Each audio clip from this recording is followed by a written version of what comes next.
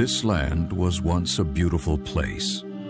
All five races lived in relative peace and harmony. Trade flourished and technological advancements were made. Humans were the most populous and occupied the central lands. Dwarves lived in the highlands of the west and built underground cities filled with precious stones. Elves were caretakers of vast living forests in the east. To the north, mighty frostlings ruled icy plains and frozen seas. To the south, mystical shadow people wandered great deserts. The world was in balance. There was no magic as we know it today. No mysterious powers over air or fire.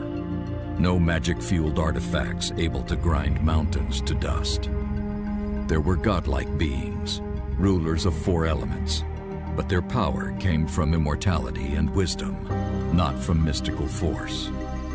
Instead, there was progress, technological advancements that gave races control over the world. Steam machines, electricity, amber stones which could harness the energy of the sun, medicine, metallurgy, and flying machines. People's ambitions raised ever higher to reach the stars one day.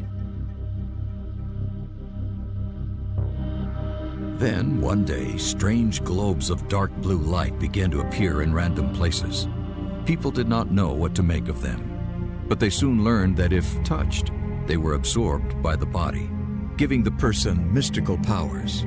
They could heal wounds, call rain to fertilize crops, or lift heavy objects.